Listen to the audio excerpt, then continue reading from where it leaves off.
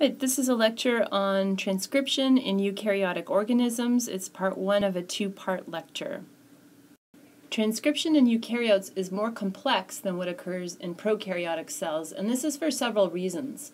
These reasons include the size, the large size, and the complexity of the eukaryotic genome, the fact that um, the gene structure itself within eukaryotes is more complex. For example, they have introns, and also the um, requirements with regards to the regulation of gene expression are more complex in eukaryotes. And this is to account for the fact that at the level of an organism, multicellular eukaryotes in any case have different types of cells that are found in different tissues, they have longer lifespans, um, and more complex interactions with the environment than is seen or that are seen in many prokaryotic cells. To accommodate for this increased complexity, eukaryotes have more RNA polymerases than prokaryotes do, and the number that they have depends on the type of eukaryote. Eukaryotes also rely on multiple protein transcription factors that can all interact, or, that, or many of which can interact with a variety of small molecules, not proteins, but small molecules that play, um, in combination, play a role in regulating transcription. Let's take a look at the process. Shown here is an RNA polymerase, it's polymerase 2, from the yeast Saccharomyces cerevisiae. It's a common yeast used for many different purposes, for food and beverage engineering, for the production of alcoholic beverages, um, and for biotechnology, and also just an organism in its own right.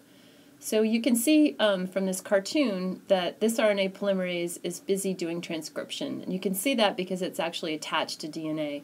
It's kind of a crappy cartoon in that it's not really showing the transcription bubble and it looks like the double helix is still connected. Um, but let's just forget about that for now and pay attention to the point of the figure. And the point of the figure is to um, illustrate the concept that RNA polymerases have a lot of subunits. Each of those colors is a different subunit. All RNA polymerases have a lot of subunits. When they're all assembled together and the protein is functional, we call that complex a holoenzyme. Like DNA polymerase, RNA polymerase requires not just its subunits, but also the cofactor magnesium, Mg2+, inorganic cation.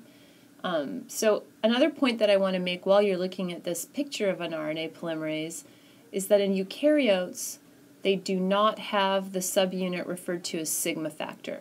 Instead, the role of sigma factor is accomplished by additional proteins that we will refer to as transcription factors.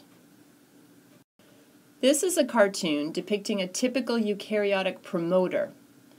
You should notice similarities with the promoters of prokaryotes, for example, particular consensus sequences that occur immediately upstream of the plus one site the plus one site, you should recall, signifies the first nucleotide transcribed into RNA.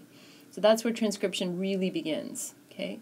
The consensus sequences shown include the GC rich box, the CAAT box, or the CAT box, and the TATA box. These are all common elements that are seen in most, although not all, eukaryotic promoters. And the positioning of those consensus sequences relative to the plus one site is shown here as well. All of that taken together is referred to as a core promoter. The core promoter will be located immediately beside the gene.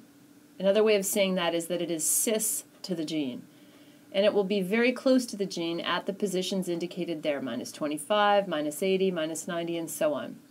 The purpose of the core promoter region is to precisely place RNA polymerase for transcription so that it occurs in frame, okay, so that transcription happens in the reading frame. Now, not shown, but I want you to imagine, are sequences that can be much further away. For example, 50 to 200 nucleotides away, in which case they are called promoter proximal elements and also sequences that can be somewhere else entirely in the genome, perhaps even on another chromosome. Those would be called distal promoter or promoter distal elements. Distal meaning farther away, proximal meaning close, very close. Okay, these additional elements are considered part of the initiation process. They're, you know, they could be considered part of the promoter, and what they do is they play a role in binding to proteins that help in initiation. They can help to either turn it up or turn it down, therefore playing a role in the regulation of transcription and therefore the regulation of gene expression. Let's look um, at the steps of eukaryotic transcription, starting at the beginning, which is the most complex part, the initiation of transcription. So again, remember that transcription factors, which are shown here in purple, and they're proteins, replace the sigma factor that works in prokaryotic transcription. Here we see the transcription factors TAF and TBP. What they mean is written on the slide. These are binding to form a complex called TF11D. This complex binds to the TATA box in the core promoter region. Now we are committed to transcription. We now have a situation often referred to as the minimal initiation complex. Once this occurs, then, like a domino effect, additional transcription factors, specifically TF um, 1BB and TF2F and RNA polymerase 2. And again, here, if you'll remember from the previous lecture, it's RNA polymerase 2 that tells us this is a coding gene. Okay. Um, anyway, all of those factors bind to form what is referred to as the complete initiation complex. Now we are almost ready to start. It gets just a little bit messier, however.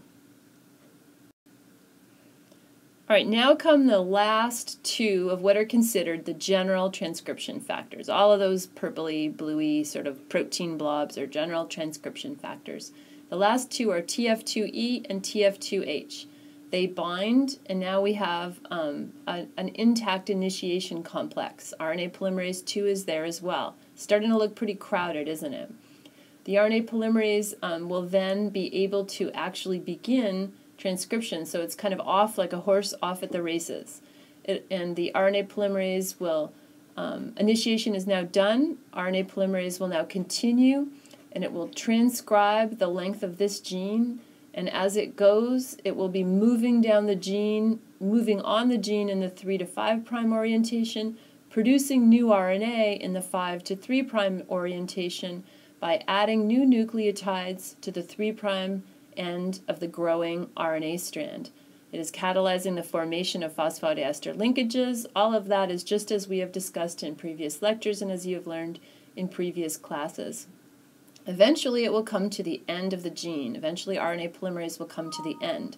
At the end of the gene in eukaryotes, you will find um, termination sequences and they will interact with a variety of proteins, and that's how termination ends. We will not discuss that further here. The termination of eukaryotic transcription is, is actually pretty complex and a little bit beyond the scope of this class.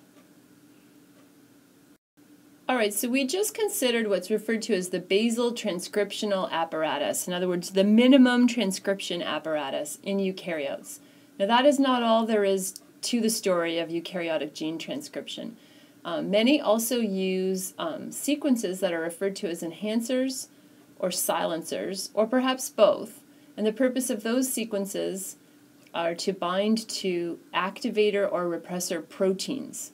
And we'll consider that a little bit further now. And that all of that in combination helps to regulate whether transcription happens or not, and whether transcription happens frequently or a lot or slowly. Part of how we regulate gene expression.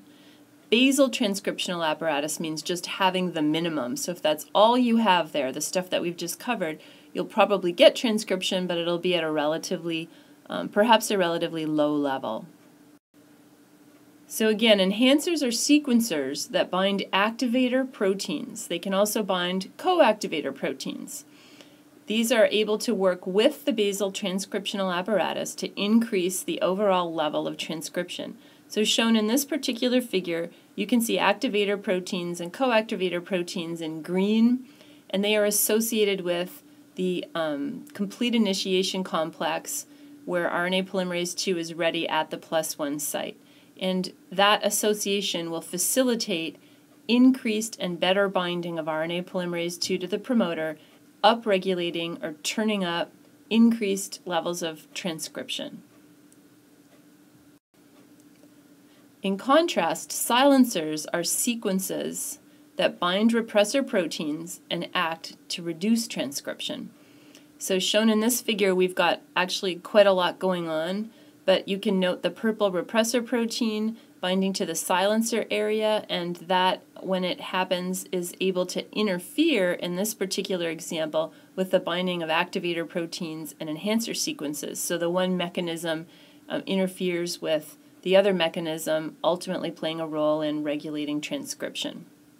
Now I'd like you to move on to the next and final part of this lecture on eukaryotic gene transcription.